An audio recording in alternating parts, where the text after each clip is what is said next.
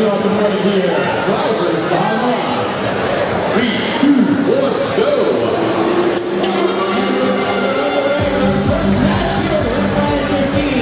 Under the 26-07 two more Thomas. Scored two. This year's game, aerial assist made a very large diameter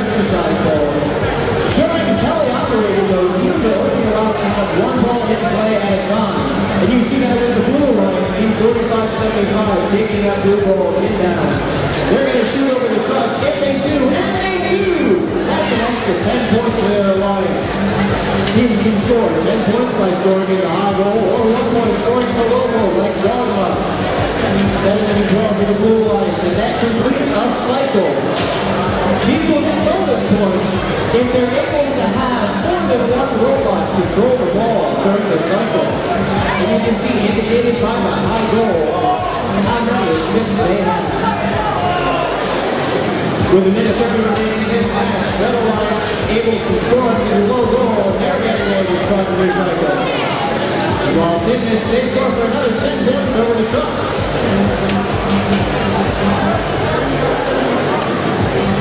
There's traffic underneath the blue high Alliance trying to get to that red ball. Like 7 on 9.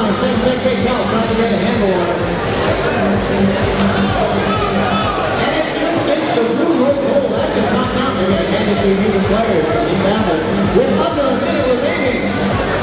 Real time score shows Blue Line Team 67 to 50. But they're taking it cross field 71 12 Blue Line. They're lining up, but 2607, playing Robo Vikings playing small.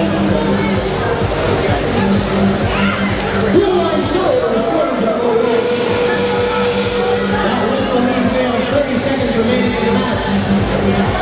Then Tech out. They're trying to shoot over the truss. They miss. Fighting over Vikings. 26 or 7. Able to pick it up for the Red Lions. Blue Lions, meanwhile, they're able to shoot over the truss with 12